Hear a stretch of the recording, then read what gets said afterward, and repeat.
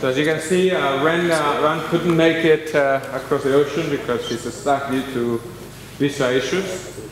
Uh, so we decided to do something different and do it through Skype, use technology of the future. Uh, next year we hope to do this through an antiferromagnetic line. Uh, but for now we just stick to the regular one. So go ahead, Ran, the floor is yours. Okay. Hello?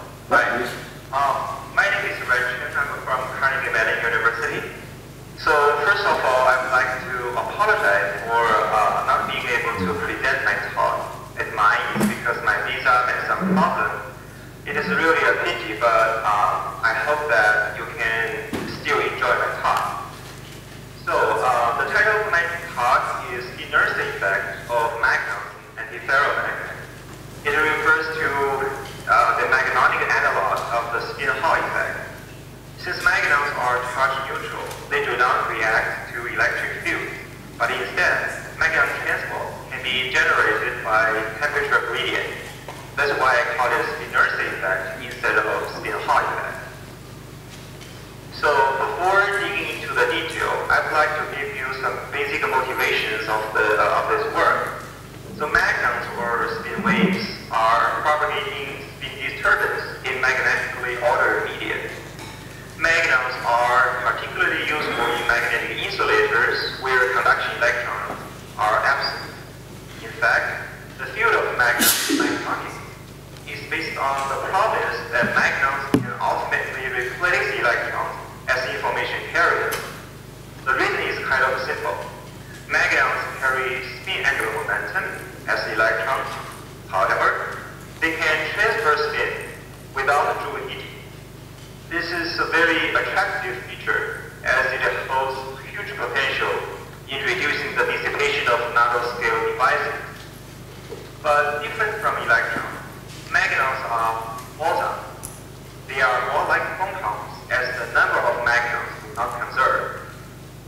However, uh, being able to deliver angular momentum does not guarantee that magnons can replace electrons as information carriers there is a fundamental problem that prevents us from feeding magnons and electrons on an equal footing, which has been overlooked in previous studies.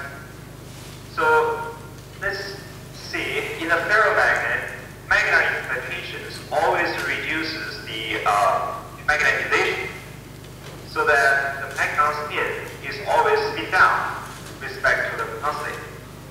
Uh, in the semi-constant picture, this means um, that the precession of the ferromagnetic spins is always red-handed.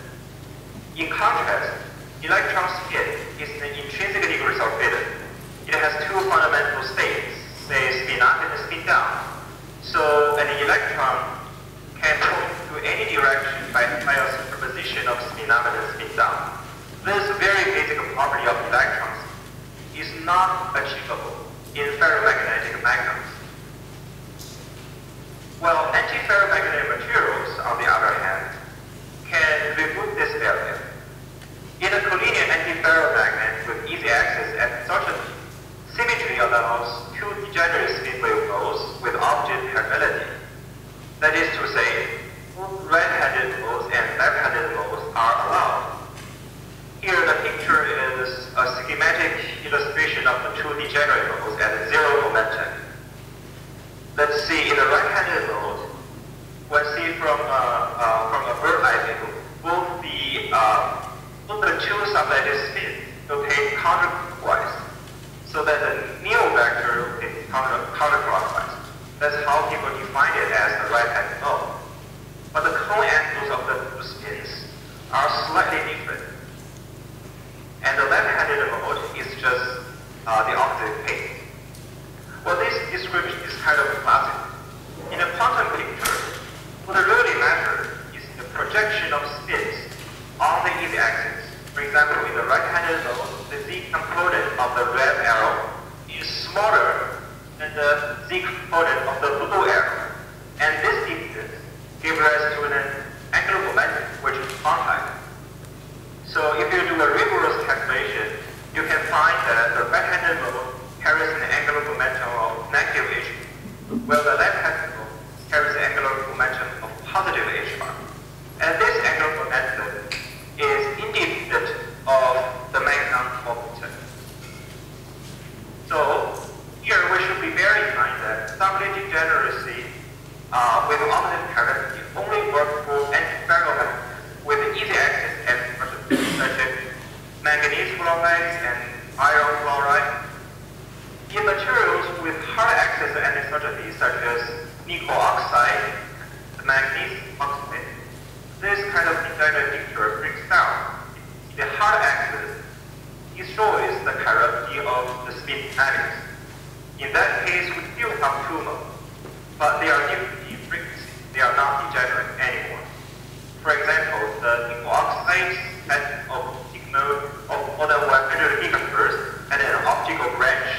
bueno.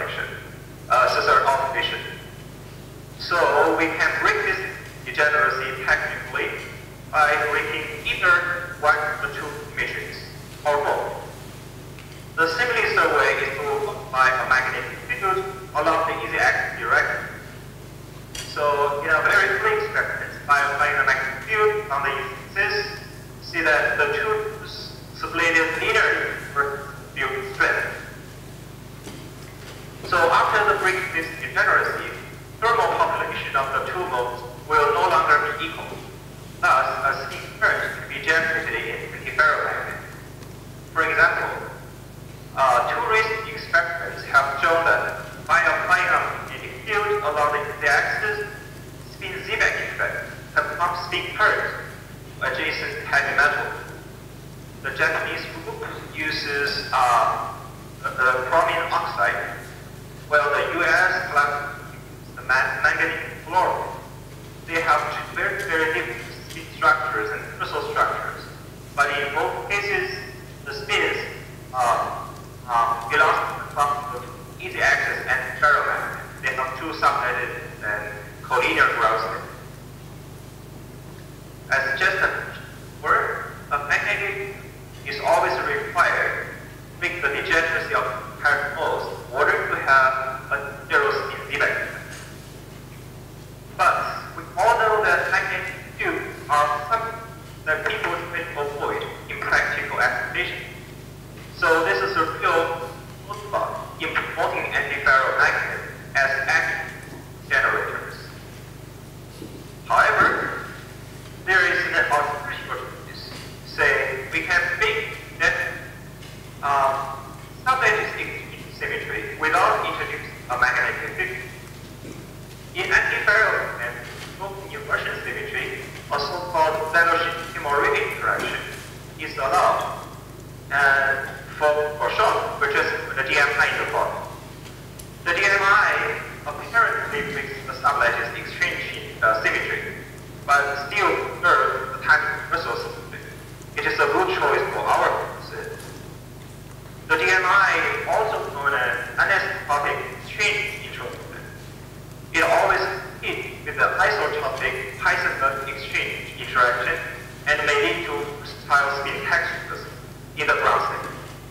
But even in a homogeneous ground state without careful.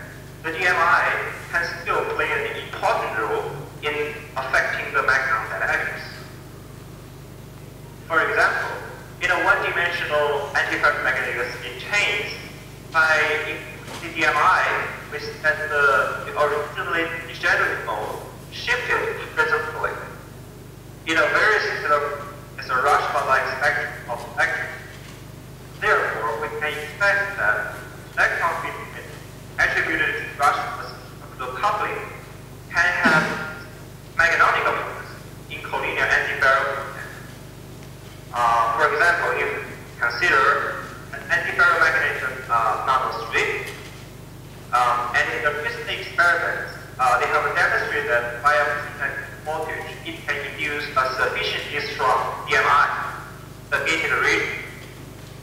So if we promote this experiment, uh, generalize this experiment to antiferromagnetic strip, we can, if possible, uh, have a magnetic ferrite, say, a very polarized spin wave instead to the gated region.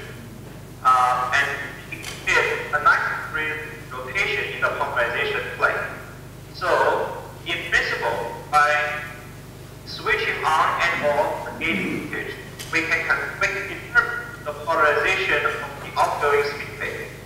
And this kind of effect uh, is just uh, similar to the Pantanoski device or spin field effect of the electron.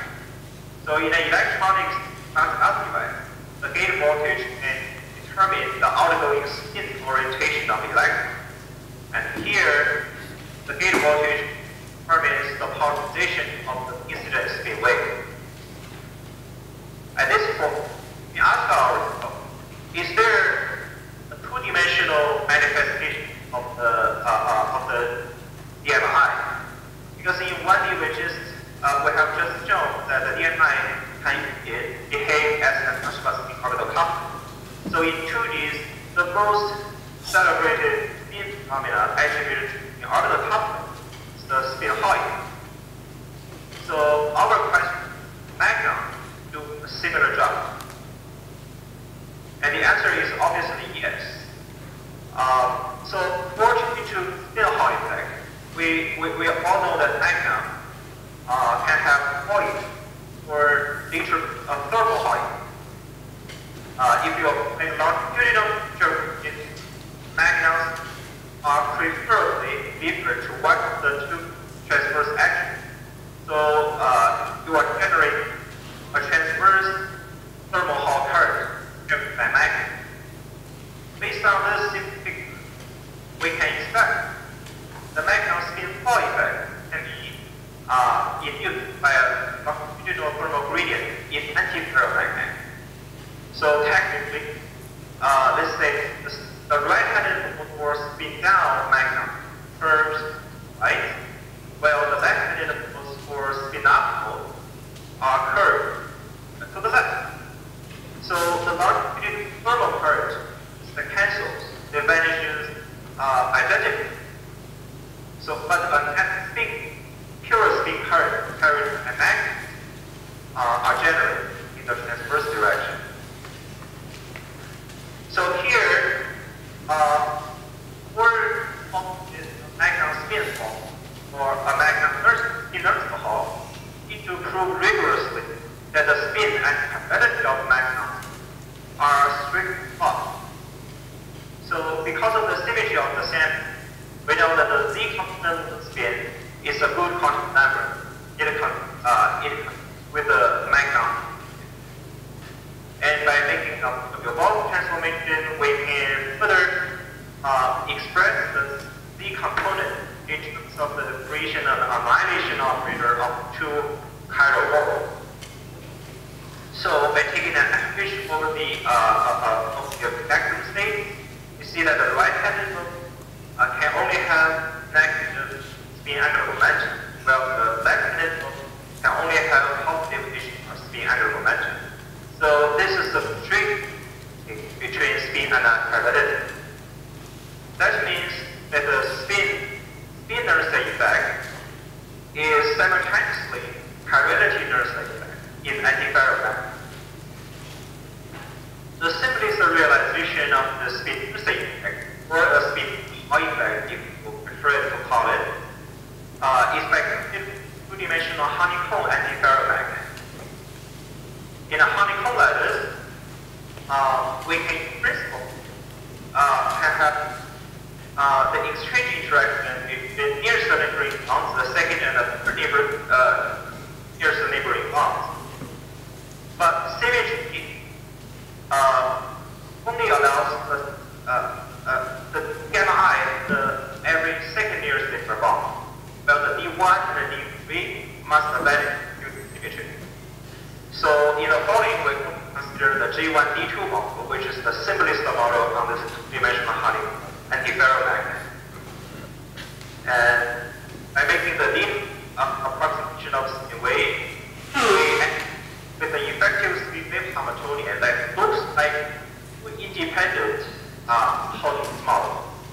So at this point, we come up with a, that if the uh, if the total magnetic counterpart of the base model, well, not exactly, because the Schrodinger equation for uh, the magnon is not a Schrodinger equation. It has the additional sigma z term.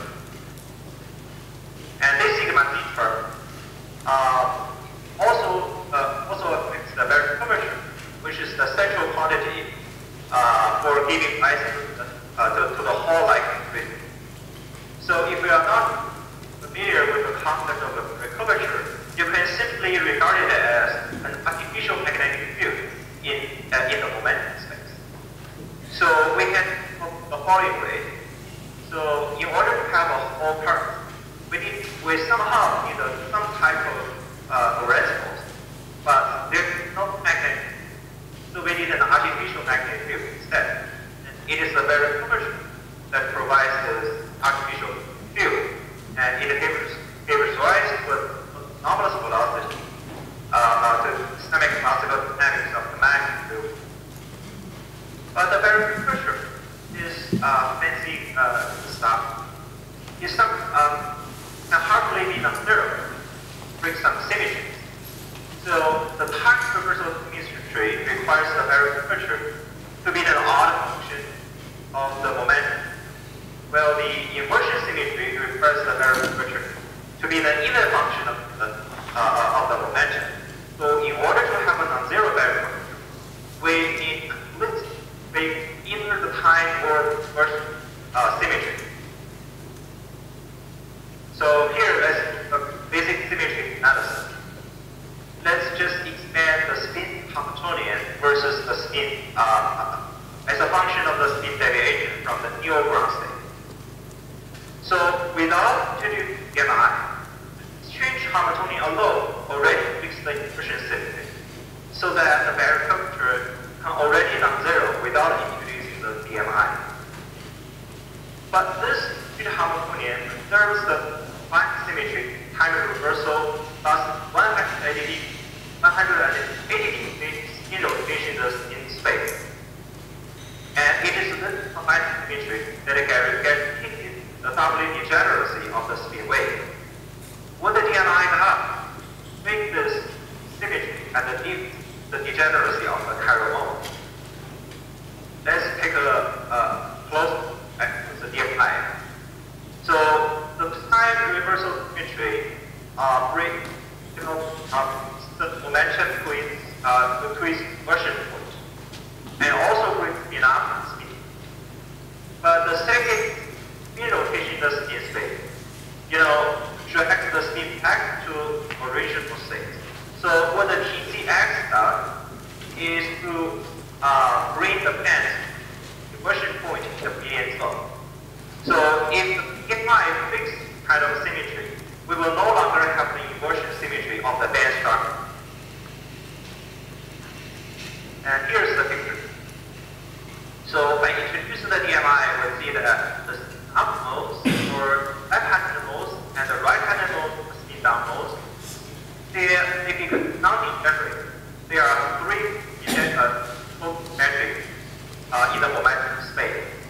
So if there was no DMI, they will be direct and both experience six-fold rotational symmetry. So here's the K and Q. Is that they are very important, not just quite different, also PMI. However, the curvature or the artificial magnetic field, on the other hand, is independent of the DMI. And they are identical for both phenom and sound. At this point, I would like to make a heuristic comparison the ferromagnet uh, uh, in a recent work. So in a honeycomb two-dimensional ferromagnet, um, the thickness is kind of different.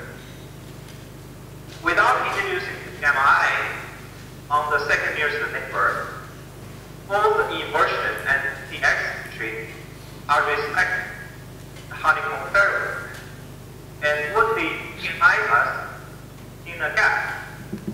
So the D is crucial for non-zero Berry curvature.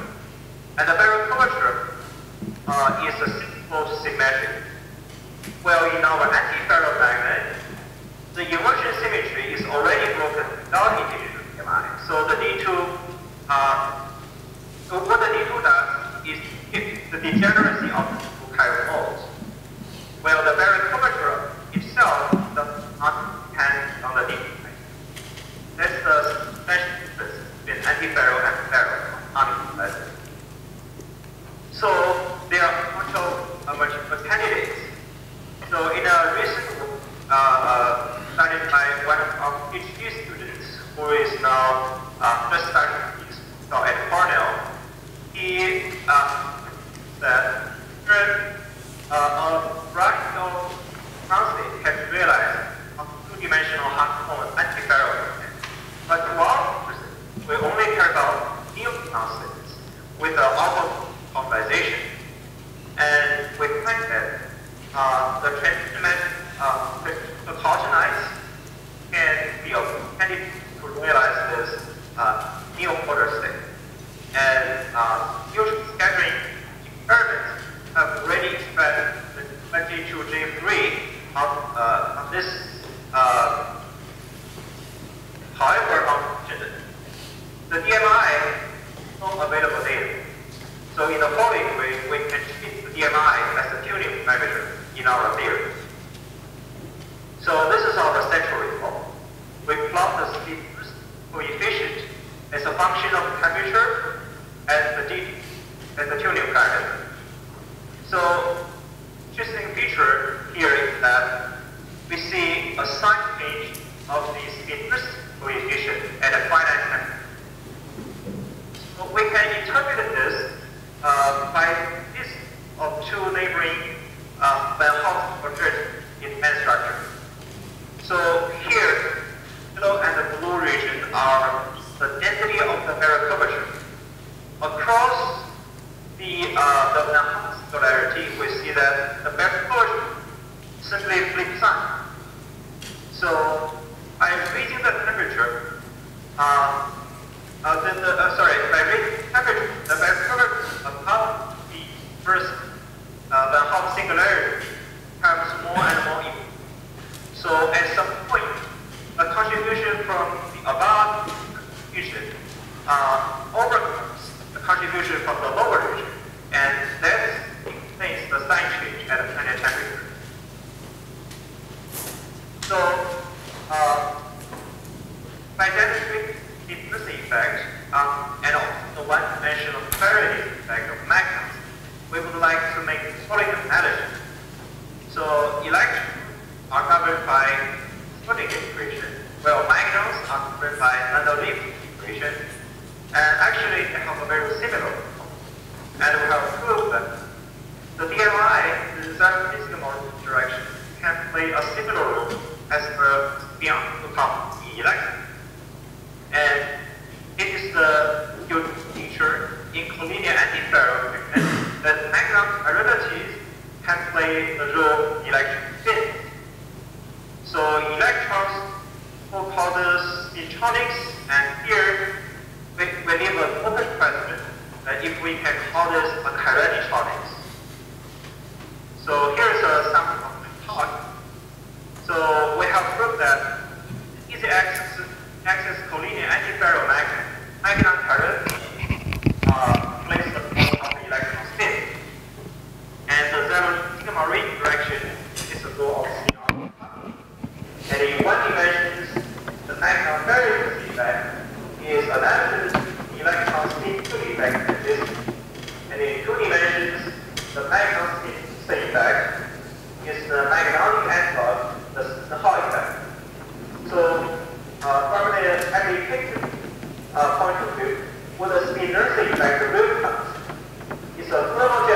of magnons first in antiferromagnet without a magnetic field. Well, the uh, kinetic effect of this requires the magnetic field.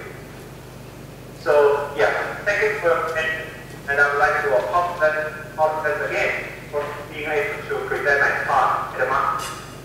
Thank you very much. Okay. So, hang on, I'm gonna hang on. Uh, can you put on your video? There you go, so you can see your face. Y- yours, no, yours, not mine. All right. So you can see the people. Do we have any questions for uh, for Ran? Uh, any questions from anybody? Nernst effect? You have a question? Yeah. Um, already. So that this, is not, I mean, your Nernst effect, your spin Nernst effect is not accompanied by a, by a heat current. Exactly. Yeah, because the heat currents in the transverse direction, uh, you know, from the two parallel modes, they compensate each other. So the current just cancels. Okay, so if you go for, um, and that's actually something I, I, like to, to hear you about is, uh, you said that there is a, I don't know, that, uh, that, that this, um, having spin up and spin is, is something you can only apply to collinear antiferromagnet. But actually, if you take a non-collinear antiferromagnet, you should have something very similar, right? Uh. Okay, so, so does your effect Did you hear that or not? Did you hear that or is it hard to hear? Uh, I, I think my, my headphone is not so could you repeat the question uh, a little? So do, do, does your effect work on uh, non-collinear antiferromagnets? Yeah, I think so, yes. Yes or no? Does it work in non-collinear antiferromagnets, the effect? Yeah, uh, is, uh, is unique to collinear antiferromagnet. Okay. So only collinear antiferromagnet. Uh, Okay. but in the recent work in, um, so, uh, uh, so, so in the re- very recent work studying honeycomb ferromagnet, uh, the UCLA group has proved that, uh, in the disorder phase of ferromagnet, uh, honeycomb lattice, you can still realize a spin-Nernst effect. But that spin-Nernst effect, the spin carrier is spin-ons instead of magnon. So our picture applies to the order ground state, in the, specifically the new order ground state. Any further questions? Yeah, Helen? Have you estimated uh, the current of magnets? I mean that the magnets in antiferromagnets are very, very slow. So what, what, what could be the value of uh, typical current compared to the current induced by the electric field, spin current induced by the electric field? Yeah, that's a very good question. So, um, so we have just estimated that, um, um, so comparing to electrons in Nernst effect, uh, if we apply, uh, so, so for the same longitudinal, uh, uh, charge part, or the number of particles in the direction, the spin Nernst current uh, is one order of magnitude smaller in our magnon system compared to electronic system. One order of magnitude smaller. All right, I think that's, uh, okay, hang on. Yura, you have a question you're way too far away, so I'll repeat the question for you if you like. Oh, hang on.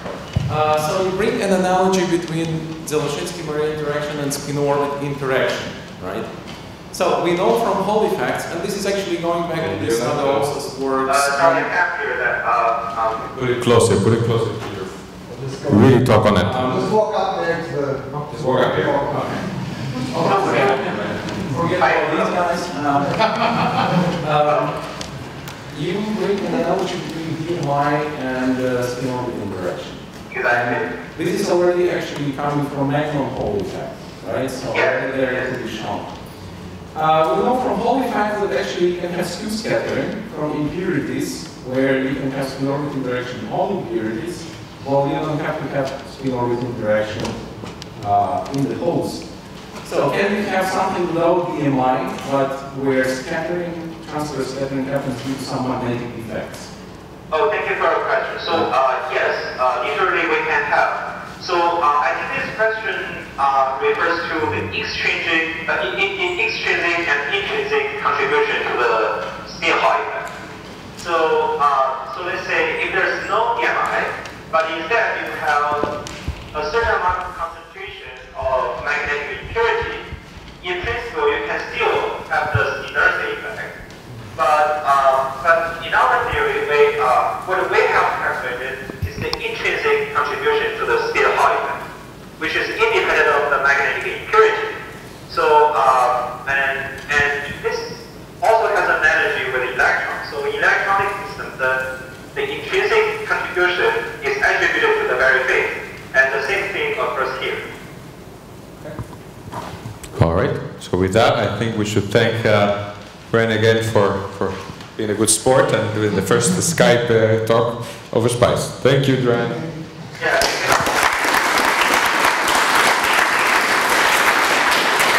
Now we have a coffee break and he's going to have a lunch break.